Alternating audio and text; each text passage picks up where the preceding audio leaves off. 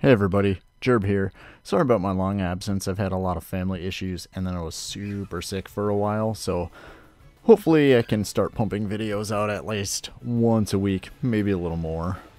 And to figure, as a one super fun return video, what better than one of my most popular videos, the accidental upskirt bug, has returned. Once again, I have no idea what causes it, but here you go for reference, if the devs are watching, during this time, I didn't start recording until about 10 to 15 seconds after I died. So I was dead for about 25 seconds before I started recording, and this is how I returned. And the camera got stuck in this mode for the rest of the match. I don't think I died, and I'm genuinely surprised that I don't die and our team wins. It's kind of weird. But anyways, there you go. Another accidental upskirt mode.